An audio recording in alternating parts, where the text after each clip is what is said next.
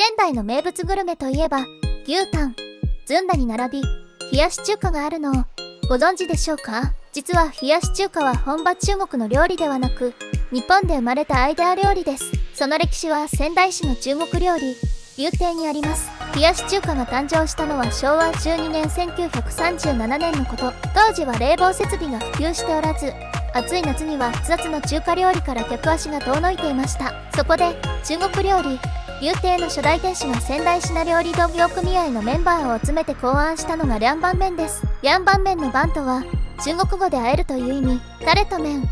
具を混ぜて食べる冷たい料理として名付けられました。当時のトッピングは茹でたキャベツや人参。きゅうりチャーシュー。ゆで卵などで夏バテ防止のために栄養をたっぷりとってもらいたいという思いが込められていました。現在も涼拌麺という名称を使い続ける流亭の冷やし中華は具材が別皿に盛り付けられるのが特徴です。細切りのクラゲ蒸し鶏ハムきゅうりチャーシュー卵が美しく並べられています。